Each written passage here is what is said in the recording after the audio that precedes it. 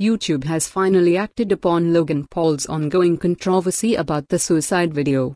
The company confirmed that it has removed Logan from Google's preferred ad program. For the uninitiated, the preferred ad program is offered to top tier creators under which they get higher CPM rates than usual. In addition to that, YouTube also announced that it would not move forward with Logan Paul's YouTube Red movie, Thinning 2, New World Order. Additionally, Logan won't be featured in season 4 of Foursome either. That being said, Paul is currently having a hard time keeping up with the controversies and it remains to be seen if and when he'll make a comeback on the video platform.